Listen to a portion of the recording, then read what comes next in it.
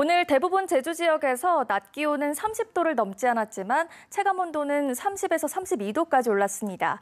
오늘 밤에도 기온이 떨어지지 않아 열대야가 나타나는 곳이 있겠는데요.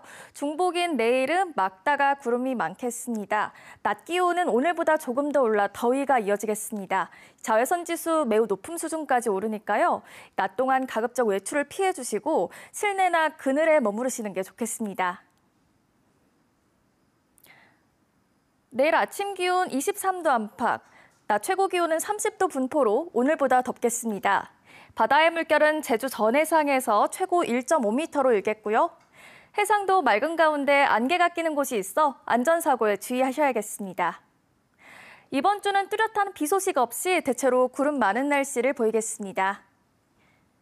전국 날씨입니다. 오늘 대구 낮 기온 34.4도까지 오르는 등 전국 대부분 지역에 폭염특보가 발효되며 매우 더웠는데요. 당분간 폭염과 열대야가 이어지겠고 대기가 불안정해지는 곳에서는 소나기가 내리겠습니다. 내일 전북 내륙에 많게는 60mm가 넘는 강수량이 예상됩니다.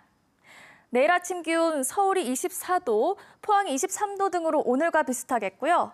낮 기온 서울이 33도, 대구 34도, 부산이 30도 등으로 오늘과 비슷하겠습니다.